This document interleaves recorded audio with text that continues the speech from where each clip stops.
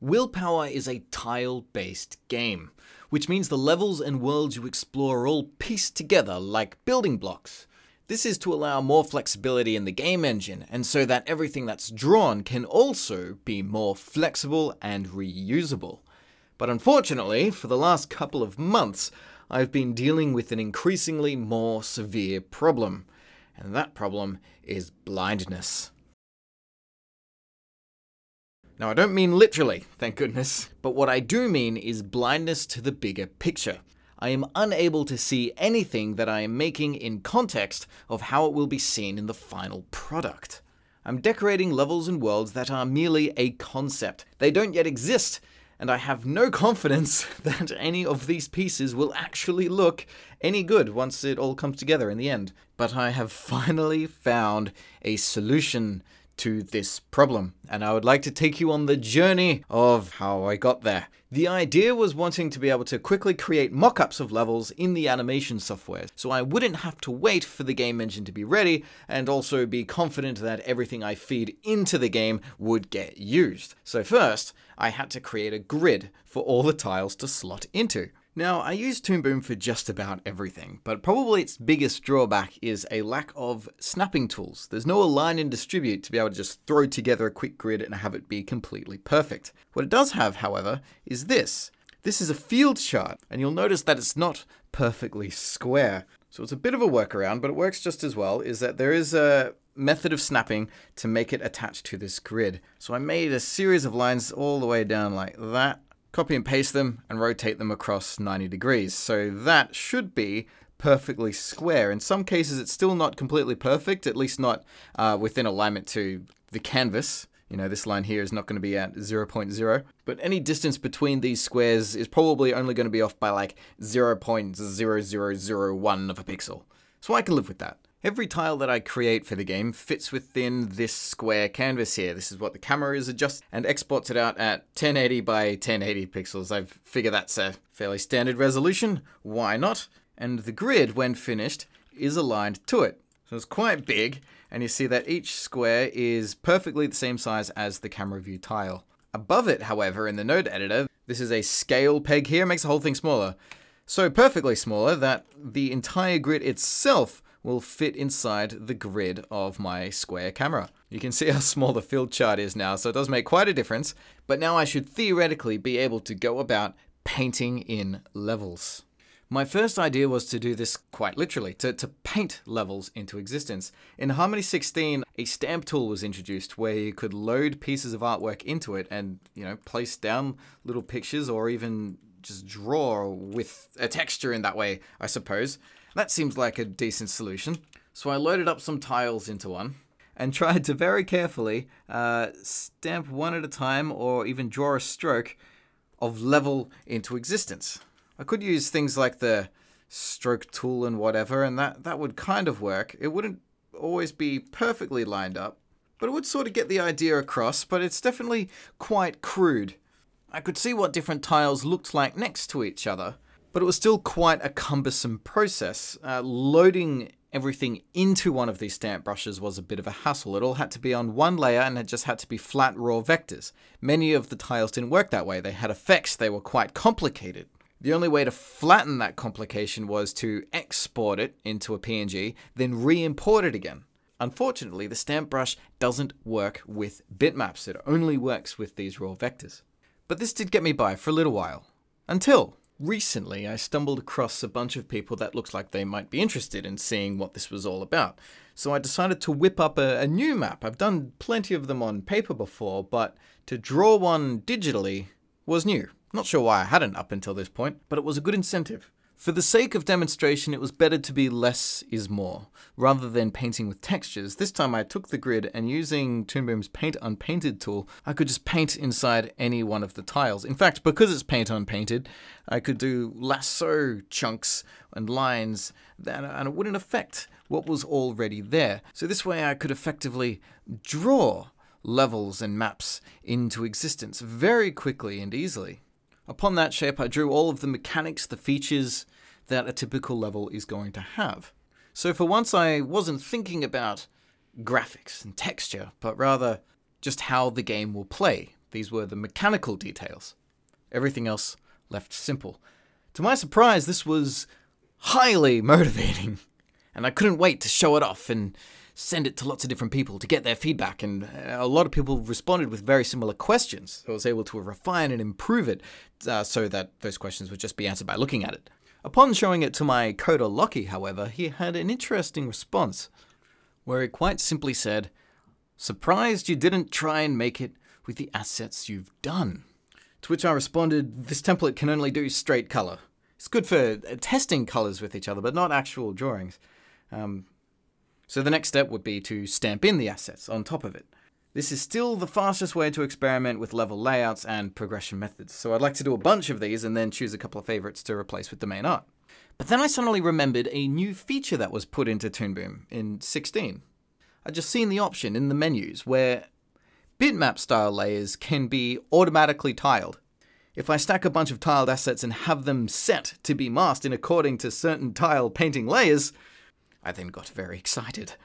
So here is an imported single tile, sitting nice and snugly within the square camera view. Over here, these are the two new buttons, tile horizontally, tile vertically.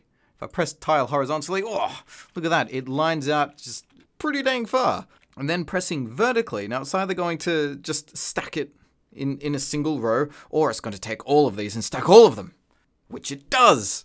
So now there's this gigantic field, the ridiculous amount of seamlessly stacked wall tiles. From here, if its position and scale is perfectly aligned with my painted grid, and I took a second layer that was duplicated tiles of floor, soil type thing, and I take my map shape here, if I were to mask this shape with the soil, I would get this. If the stacked walls are put underneath, look at that. So now I suddenly had a way of testing assets in an actual map format. Because I was just painting with individual pieces of white tile, by tracing new tracks in, as long as I had any color selected, it would look as if I was now painting levels directly into existence. And by simply erasing any tile would bring walls into existence. This was incredibly fast, but I wasn't ready to stop there. For you see, this still had a flaw, there was a downside to it having to export and then re-import any tile again uh, was it was a bit tedious. Having to do that for every single thing I just wanted to test. What if I wanted to change something? I would then have to change it on the vector version, export it, re-import it again, and then put it back into the editor to see what would happen. Now, if there was a way to be able to make this type of thing with the actual raw vector art itself, then not only could I still paint maze shapes, but I could actually paint the tiles themselves live into the world.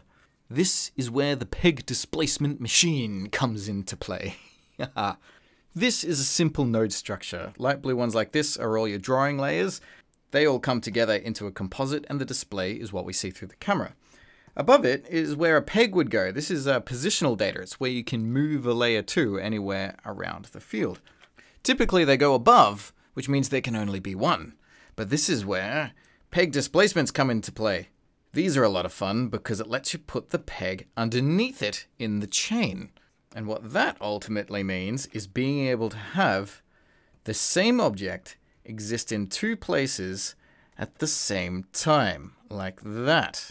They're both sourced from the same image, so updating one in any way will affect both. So what if I moved both of these the same amount of distance to the left, but then daisy chained one off the other? See, it acts as a multiplier. Applies the same amount of distance again, and you can keep this going. As you can see here. Ha ha ha. So each one of these has a peg displacement, uh, which is shifted by negative 12, I think. Uh, yeah, there we go. 12 west, 12 west, 12 west. There we are. And they just keep going. Each one daisy chained off the last, so it just multiplies by itself. So the second one is like 24, the fourth one is 48, etc. All the way down until you get this great big row and this great big chain of events all coming off each other like that. It is enormous and then all comes down into one great big composite and then out the bottom. Then it gets worse. All of that is grouped into one box here. And now I have a second chain, and these, as you probably would guess, uh, does the same thing going down uh, in increments of uh, negative 16 stacked up on top of each other. Now remember, uh, Toon Boom it has a field chart system, not a grid system, so dimensions going up and down is actually different to left and right. 16 down is the same as 12 left and right, which is kind of weird to get used to, but that's fine. Uh, but now, rather than duplicating and shifting individual squares, we are duplicating and shifting entire rows at a time. As you see, I'll move this display down. See how it sort of takes the row, puts it on one below, and it creates this ridiculous, uh, magnificent looking spine shape. And at the very bottom, all of those duplicates of rows stacked on top of each other makes this handy dandy grid of tiles. And all of these are connected back to the original source. Haha! In this build, there are now two generators, one that has a complete set of walls and another one that has a complete set of floors. However, the floors are currently invisible. They are set up through a mask of the main painting grid, which of course means that as I start using my Paint Unpainted tool to start drawing in tracks, I can start making bits of level and areas to explore. You know, maybe large rooms uh, with corridors to connect them and hopefully I can remember exactly see the where the tracks are. There we go. Yes, yes. All right. Yes, shapes. But not only this, because again, these shapes connect to a single source. If I look at any one of them in the drawing view like this, performing any modification to them, we'll update it for every single one on the entire grid. And this goes for the floor as well. Look at that. So with this system, I can modify, update, you know, I can unplug these and, and, and pop a different tile in, experiment with lots of different textures, update colors, parts of the drawings. But there is only one aspect remaining that I would really like this thing to have. And it is starting to push it. I very nearly didn't make this thing at all because I was quite convinced the computer wasn't going to be able to handle it. And it is starting to slow down, but it does work. So the next challenge is how many different types of tiles can this thing handle at the same time? Because consider everything needs to exist simultaneously. This floor set is being duplicated across the whole thing, and the mask is simply subtracting the ones it doesn't want. But I'm pretty sure as far as the processing is concerned, it's still taking into account everything. So it's not ideal, but it does work. I need to keep this in mind though, for each one I plug in, it's going to be putting in the full set. That's what each one of these plugs here is. And if I move inside this group, you can see what I've built is a whole bunch of distributor reactors, more or less. What this thing will let me do, when I'm working with this standard map here, I can start painting in with different colors. Over on the palette here, I've set up a whole bunch of different ones. Walls, floors, decorations, etc. And what these colors do is isolate different tile types, different texture types, depending on what I want to have revealed. So over here inside this, each one of these, uh, I keep the replicators off unless I need one because they do slow the program down significantly. But the structure is there, ready for me to copy, paste, and just slot it in like that. But you can see each one of these here, wall 1, 2, 3, 4, 5, 6, floor 1, 2, 3, 4, 5, 6, they have their sort of colors set up. And those are color selectors. This is the new version of color override where it sort of does the opposite. You just choose the colors that you want to have revealed, which means this version is only going to take the pink out of this map and whatever texture is plugged into the other side is going to apply that texture to these squares in particular. So it means I can now choose textures by just choosing a different swatch and bring entire levels to life this way. Having a whole bunch of them is going to bog the computer down considerably though, so I need to be careful not to like binge this really. It is for testing purposes. I, you know, it means I can sort of paint in a colorful way here to sort of, uh, you know, get the shape right, then plug it into the textures that I've drawn to just you know, to check it, to see that it's all good. Uh, and if any of the tiles need updating, then I can sort of isolate those out and then go in and tweak them, see it happen in context with everything else. It's wonderful. This changes my entire workflow. It means I can now start with level design first, which ideally is how it should have always been, uh, and now choose aesthetics to the design around it. Uh, and this has increased my workload considerably uh, now that I'm seeing more potential of, of decorations and shapes and worlds that can be crafted rather than just here's a brick wall, here's a soil floor. Now it can be rooms with that ha- that just have a bit more life to them, you know. The ideas just keep flooding in, and I'm having so much fun with it. Unfortunately, the the downside of this entire revelation, which uh, you may or may not have noticed, has caused uh, video output on this channel to go down considerably. At the end of last year, I've, i feel like I was doing quite well. Uh, when I brought this channel back, I was doing two videos a day, and then after that proved to be quite intense, I brought it down to one a day, and then usually it's like every other day, and then by Christmas time, I had a whole like week's worth set up ready to go so that if I went away on holidays, it could sort of keep going and then be ready for when I got back. But I didn't finish everything in time.